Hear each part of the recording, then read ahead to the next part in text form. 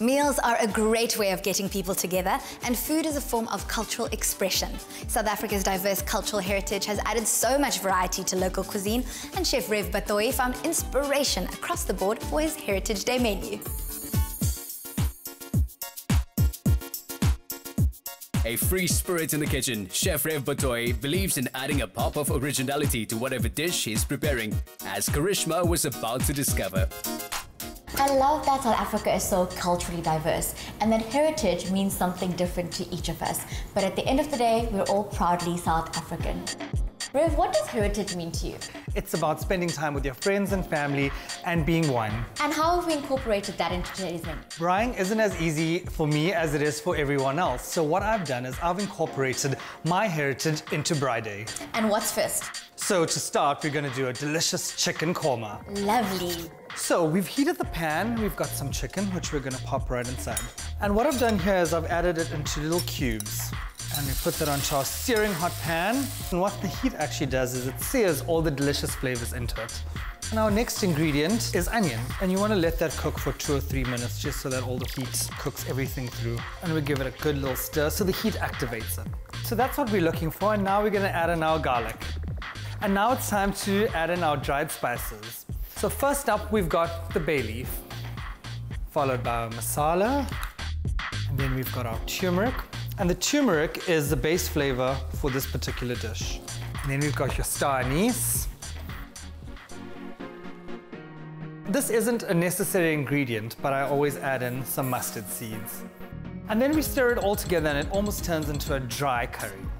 I don't add any chili to this dish. Okay, and now to add some moisture to it, I add in some buttermilk. And just for good measure, I add in some yogurt as well, which is plain. You give that a good mix and coat everything together. What exactly defines a korma? A chicken korma is a non-spicy Indian turmeric-based, creamy, delicious, hearty curry.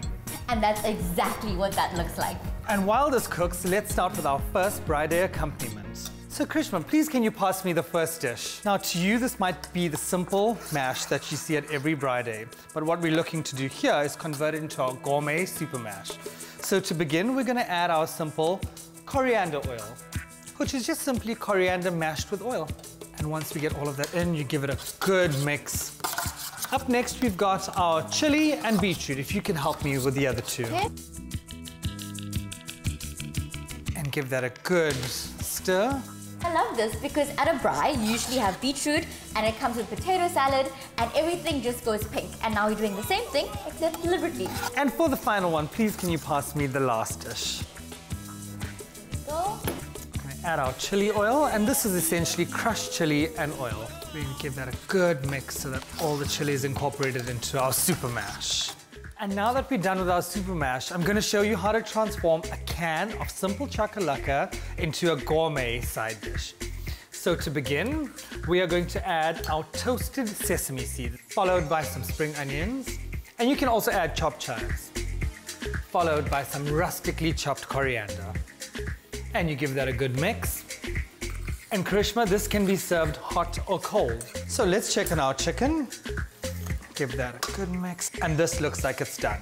So what I normally do is with the extra sauce from the chicken korma or any curry for that matter, I take our vegetable skewer and a basting brush and I baste our vegetable skewer. And this could be anything on your skewer from mushrooms to pepper to spring onion. That's a fantastic tip. And there you have it, my version of my Heritage Day braai. Rev, this reminds me so much of my family because even though we had loads of braais, there was always a little bit of Indian flavor mixed in there. Well, there you go. Local inspiration and Eastern interpretation delivers something deliciously unconventional.